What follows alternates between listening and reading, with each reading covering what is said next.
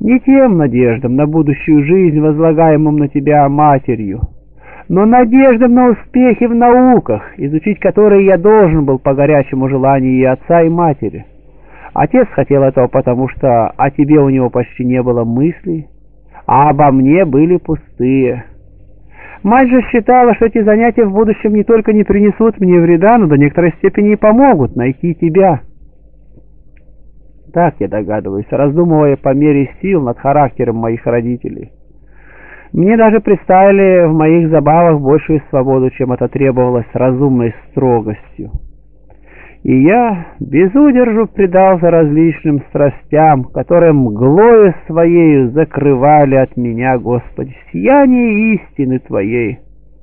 И возросла, словно на тучной земле, неправда моя. Воровство, конечно, наказывается по закону Твоему, Господи, и по закону, написанному в человеческом сердце, который сама неправда уничтожить не может. Найдется ли вор, который спокойно терпел бы вора?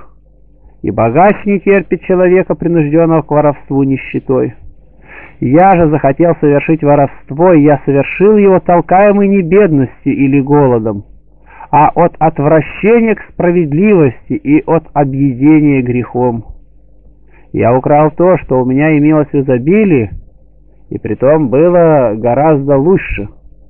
Я хотел насладиться не тем, что стремился уворовать, а самим воровством и грехом. По соседству с нашим виноградником стояла груша, отягощенная плодами, ничуть не соблазнительными, ни по виду, ни по вкусу. Негодные мальчишки, мы отправились отрясти и забрать свою добычу в глухую полночь. По губительному обычаю наши уличные забавы затягивались до этого времени. Мы унесли оттуда огромную ношу не для еды себе, если даже кое-что и съели, и мы готовы были выбросить ее хоть свиньям, лишь бы совершить поступок, который тем был приятен, что был запретен. Вот сердце мое, Господи, вот сердце мое, над которым Ты сжалился, когда оно было на дне бездны. Пусть скажет тебе сейчас сердце мое, зачем оно искало быть злым безо всякой цели. Причиной моей испорченности была ведь только моя испорченность. Она была гадка, и я любил ее. Я любил погибель и любил падение свое. Не то, что побуждало меня к падению.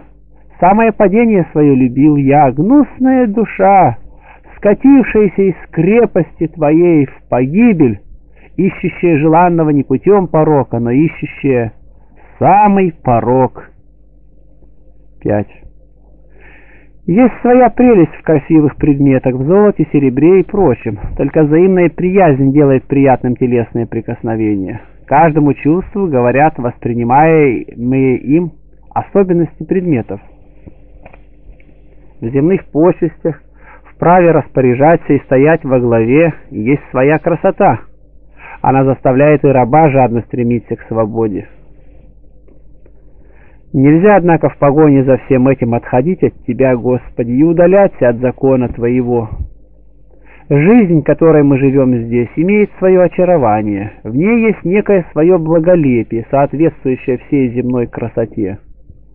Сладостна людская дружба, связывающая милыми узами многих в одно. Ради всего этого человек и позволяет себе грешить, и в неумеренной склонности к таким низшим благам – покидает лучшее и наивысшее. Тебя, Господи Боже наш, правду Твою и закон Твой. В этих низших радостях есть своя услада, но не такая, как в Боге моем, который создал все. Ибо в нем наслаждается праведник, и сам он наслаждение для праведных сердцем. Итак, когда спрашивают, по какой причине совершено преступление, то обычно она представляется вероятной только в том случае, если можно обнаружить или стремление достичь какое-либо из тех благ, которые мы назвали низшими, или же страх перед их потерей. Они прекрасны и почетны, хотя по сравнению с высшими, счастливящими человека, презренны и низменны. Он убил человека. Почему? Он влюбился в его жену или ему понравилось его имение. Он хотел его ограбить, что чтобы на это горел желанием отомстить. Он боялся, что тот нанесет ему крупные потери, он был обижен и горел желанием отомстить. Разве совершил бы человек убийство без причины из наслаждения самим убийством? Кто этому поверит? Даже для того жестокого безумца, о котором сказано, что он был зол и жесток, просто так себе, без всяких оснований, приведена причина. Рука и душа не должны становиться вялыми от бездействия. В чем дело? Почему?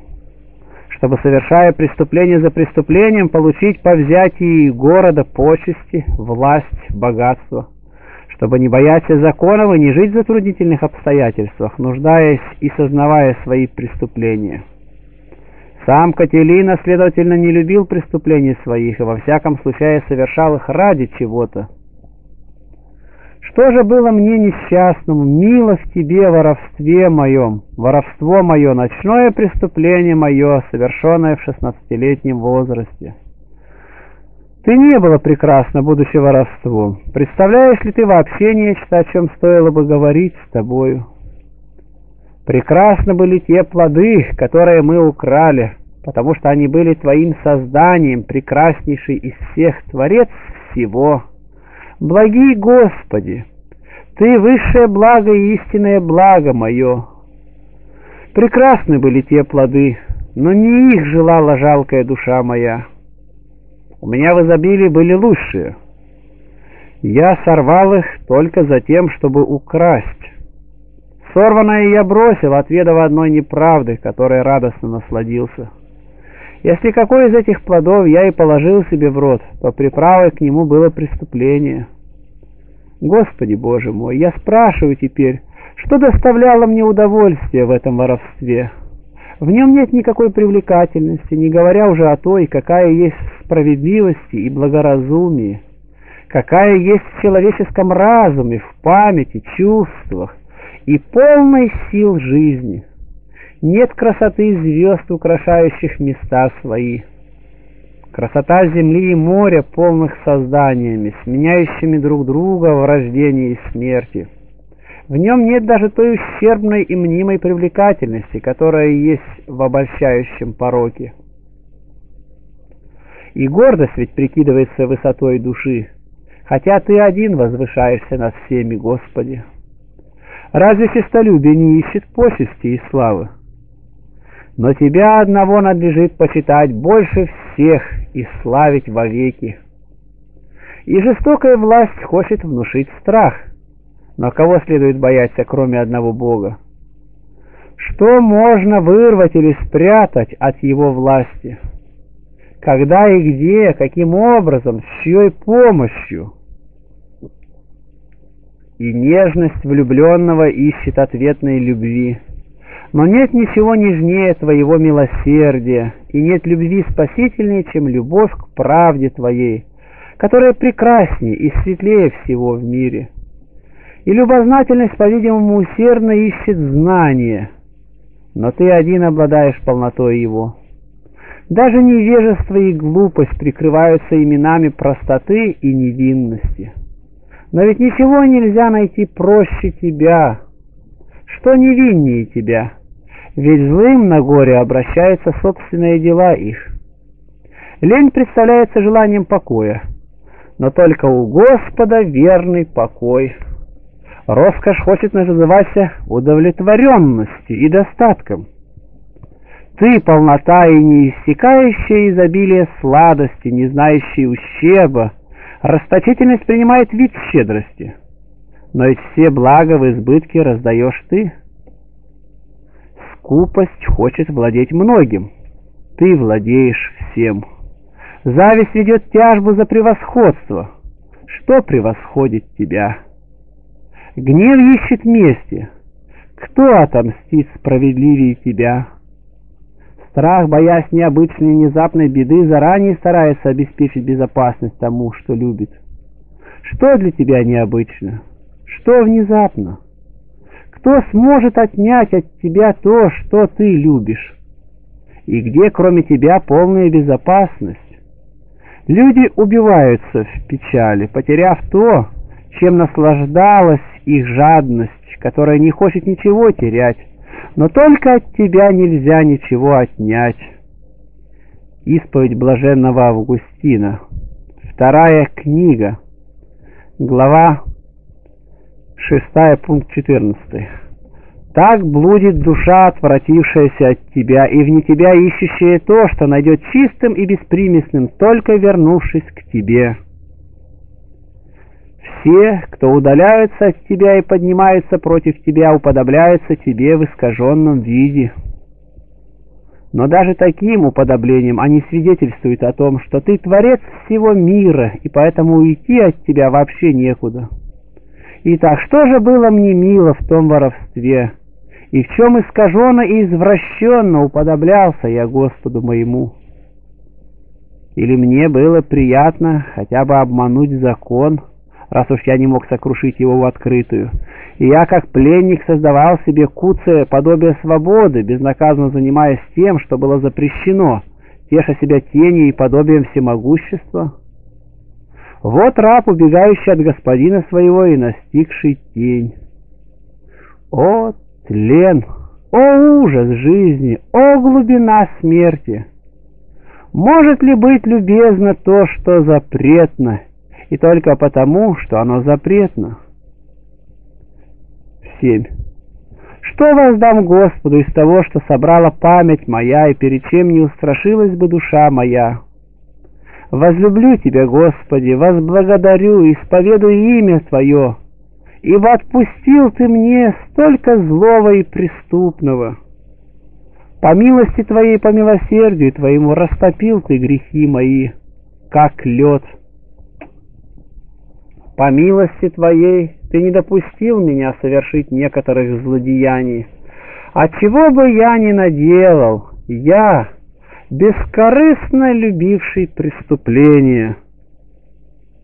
Я свидетельствую, что все отпущено мне. И то зло, которое совершил я по своей воле, и то, которого не совершил, руководимый тобою. Кто из людей, раздумывая над своей немощью, осмелится приписать свое целомудрие и невинность собственным силам и станет меньше любить тебя, будто ему не нужно твоего милосердия, по которому отпускаешь ты грехи, обратившимся к тебе?» И пусть человек, которого ты призвал, и который, последовав за голосом твоим, избежал того, о чем он прочтет в моих воспоминаниях и в моих признаниях, не смеется надо мною. Меня ведь больного вылечил тот врач, который не дал ему захворать, или вернее, не дал захворать так сильно. Пусть за это он возлюбит тебя в такой же мере. Нет, даже больше — ибо он увидит, кто избавил меня от таких недугов греха, и увидит, что это тот же, благодаря которому он не запутался в таких же недугах греха. Что извлек я несчастный из того, вспоминая, о чем я сейчас краснею, особенно из того воровства, в котором мне было мило само воровство и ничто другое. Да и само по себе оно было ничто, а я от этого самого был еще более жалок. И однако, насколько я помню мое тогдашнее состояние духа, я один не совершил бы его, один я никак не совершил бы его. Следовательно, я любил здесь еще сообщество тех, с кем воровал.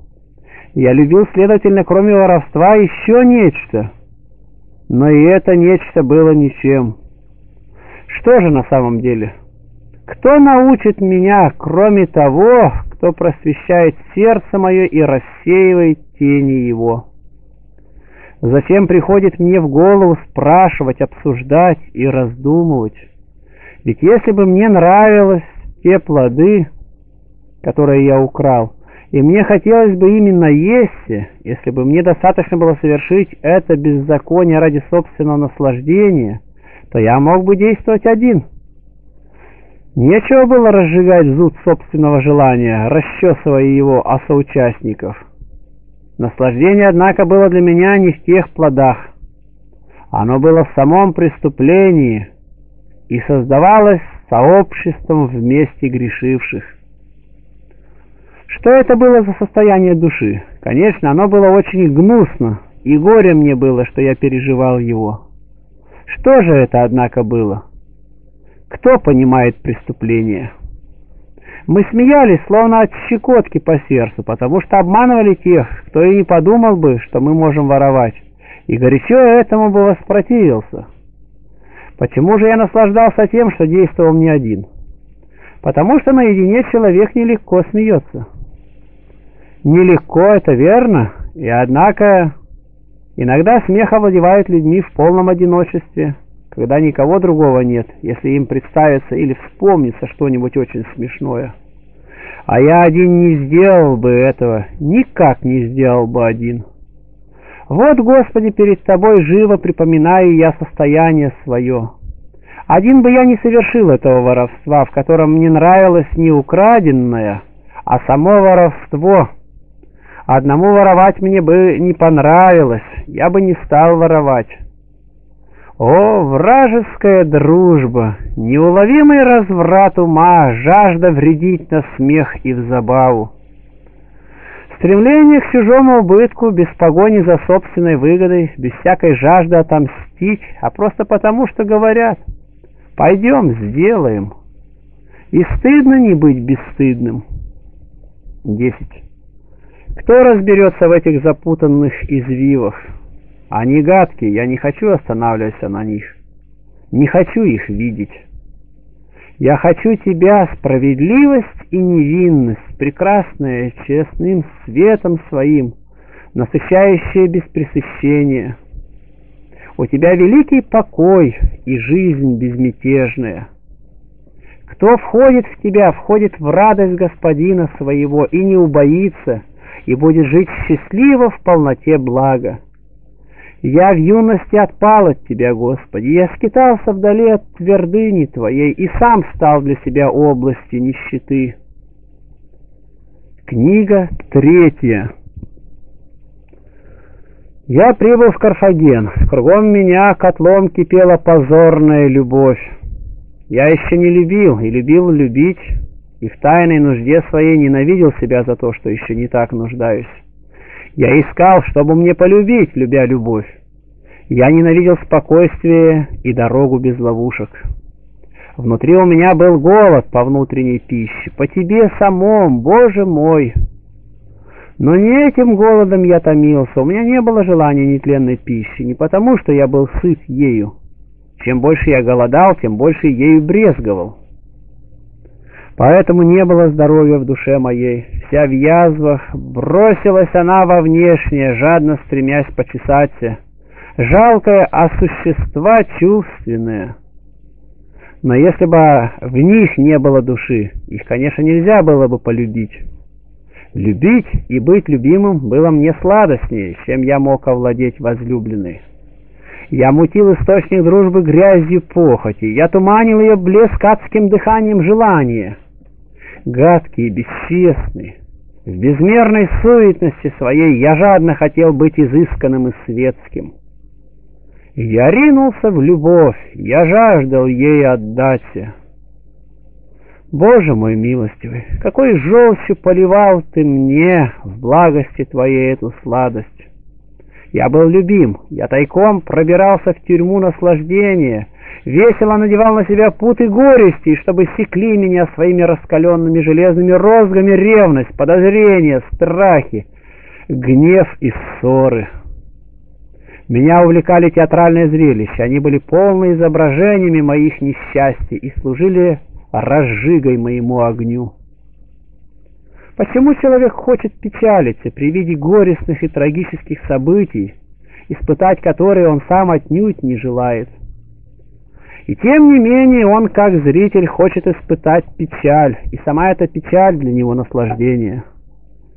Удивительное безумие.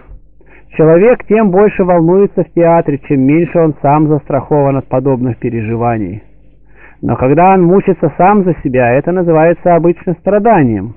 Когда мучится вместе с другими, состраданием. Но как можно сострадать вымыслом на сцене? Слушателя ведь не зовут на помощь, его приглашают только печалиться, и он тем благосклоннее к автору этих вымыслов, чем больше печалится. Если старинное или вымышленное бедствие представлены так, что зритель не испытывает печали, то он уходит, зевая и бронясь. Если же его заставили печалиться, то он сидит поглощенный зрелищем и радуется. Слезы, следовательно, и печали любезны. Каждый человек, конечно, хочет радоваться. Страдать никому не хочется, но хочется быть сострадательным. А так как нельзя сострадать не печалясь, то не это ли и есть единственная причина, почему печаль любезна? Сострадание вытекает из источника дружбы. Но куда он идет? Куда течет? Зачем впадает он в поток кипящей смолы, свирепый водоворот черных страстей, где сам по собственному выбору меняется, утрачивает свою небесную ясность, забывает о ней? Итак, прочь сострадание? Ни в коем случае. Да будут печали иногда любезны. Берегись, однако, скверны, душа моя, ты, находящийся под покровом Бога Отцов наших, достохвального и превозносимого во все века, берегись скверны. И теперь я доступен состраданию, но тогда в театре я радовался вместе с влюбленными, когда они наслаждались в позоре. Хотя все это было только вымыслом и театральной игрой. Когда же они теряли друг друга, я огорчался вместе с ними, как бы сострадая им и в обоих случаях наслаждался, однако. Теперь я больше жалею человека, радующегося на позор себе, чем того, кто вообразил, что жестоко страдает, лишившись губительного наслаждения и утратив жалкое счастье. Это, конечно, настоящее сострадание, но при нем печаль не доставляет удовольствия. Хотя человека, опечаленного чужим несчастьем, одобряют за эту службу любви но по-настоящему милосердный он предпочел бы не иметь причины для своей печали. Если существует зложелательная благожелательность, что невозможно, тогда и человек, исполненный искреннего и настоящего сострадания, мог бы пожелать, чтобы быть, были страдальцы, которым бы он сострадал. Бывает, следовательно, скорбь, заслуживающая одобрения – нет ни одной заслуживающей любви. Господи Боже, любящий души, Твое сострадание неизмеримо чище нашего и неизменнее именно потому, что никакая печаль не может уязвить Тебя. А кто способен к этому? Но я тогда несчастный любил печалиться и искал поводов для печали. Игра актера, изображавшего на подмостках чужое вымышленное горе, больше мне нравилась и сильнее меня захватывала, если вызывала слезы. Что же удивительного, если я, несчастная овца, отбившаяся от твоего стада, не терпевшая охраны твоей, а паршивил мерзкой паршой? Потому-то и была мила мне печаль, не та, которая проникает до глубины души, мне ведь не нравилось терпеть то, на что я любил смотреть. Рассказ о вымышленных страданиях как бы скреб мою кожу, и как о расчесывании ногтями. От расчесывания ногтями начиналось воспаление и отвратительная гнойная опухоль. Такова была жизнь моя, Господи, жизнью ли была она? И надо мною, окружая меня, витало далекое и верное милосердие Твое. Гноем какой неправды не был я покрыт. Кощунственным было любопытство мое. Покинул я тебя и дошел до бездны неверности, до обманчивого угождения демонам, в жертву которым приносил злые дела свои, и за каждое из них бичевал ты меня». Я осмелился даже во время совершения службы твоей в церковных стенах гореть желанием и улаживать дело, верным доходом с которого была смерть. За это поразил ты меня тяжелым наказанием, но оно было ничем сравнительно с виною моей. О, ты великий в милосердии своем, Господь мой, прибежище мое от грозных опасностей! среди которых бродил я в гордой самоуверенности, далеко уходя от тебя. Я любил пути свои, а не твои. Любил свободу. свободу беглого раба. Тянули меня к себе и те занятия, которые считались почтенными. Я мечтал о форуме с его тяжбами, где бы я блистал, а меня осыпали бы похвалами, тем больше, чем искуснее я лгал. Такова слепота человеческая, слепотой своей люди хвалятся. Я был первым в риторской школе, был полон горделивой радости и надут спесью. Вел я себя, правда, гораздо спокойнее, Господи. Ты знаешь это и вообще не принимал никакого участия в опрокидываниях, которыми занимались совратители. Это зловещее дьявольское имя служило как бы признаком утонченности. Я жил среди них, постыдно стыдясь, что сам не был таким. Я бывал с ними, иногда мне было приятно с ними дружить. Но поступки их всегда были мне отвратительны. Это было дерзкое преследование честных новичков, которых они сбивали с прямого пути. Так себе, забавы ради, в насыщение своей злобной радости. Нет деяния больше уподобляющегося деяниям дьявольским. Нельзя было назвать их вернее, чем совратителями. Сначала они были сами, конечно, совращенные и развращены, соблазняемыми, соблазняемые в тайне и осмеянные лживыми духами в самой любви своей к осмеянию и лжи.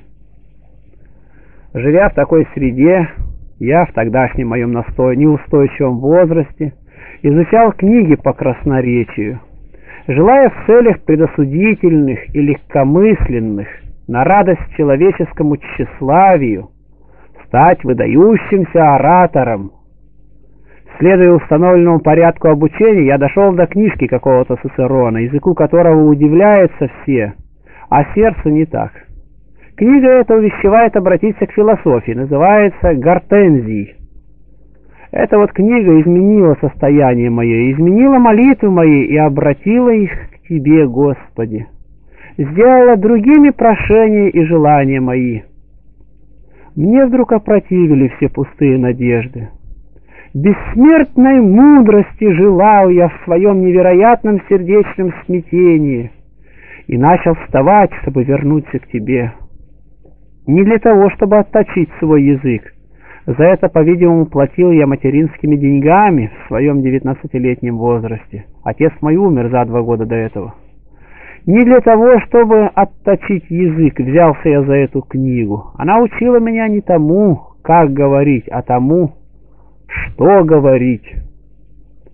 Как горел я, Господи, как горел я улететь к Тебе от всего земного. Я не понимал, что Ты делаешь со мною. У Тебя ведь мудрость. Любовь к мудрости по-гречески называется философией. Эту любовь зажгло во мне это сочинение. Есть люди, которые вводят в заблуждение философии, которые прикрашивают и прихорашивают свои ошибки этим великим, ласковым и честным именем. Почти все такие философы, современные авторы и жившие до него, отмечены в этой книге и изобличены. Тут явно спасительные предупреждения, сделанные Духом Твоим через Твоего верного и благочестивого раба, Смотрите, чтобы кто не увлек вас философией и пустым обольщениями по преданию человеческому, по стихиям мира, а не по Христу, ибо в нем обитает вся полнота божества телесно. В то время ты знаешь это, свет моего сердца. Мне не были еще известны эти слова апостола. И тем не менее я наслаждался этой книгой, потому что она увещевала меня любить не ту или другую философскую школу, а самая мудрость, какова бы она ни была, поощряла любить ее, искать, добиваться, овладеть ею и крепко прильнуть к ней. Эта речь зажгла меня, я весь горел, и мой пыл ослабляло только одно — там не было имени Христа — а это имя, по милосердию Твоему, Господи, это имя Спасителя моего, Твоего Сына, впитал я с молоком матери. Оно глубоко запало в мое детское сердце. И все произведения, где этого имени не было, пусть художественные, отделанные и полные истины, не захватывали меня целиком. 5. Итак, я решил внимательно заняться священным писанием и посмотреть, что это такое. И вот я вижу нечто для гордецов непонятное, для детей темное. Здание, окутанное тайной, с низким входом.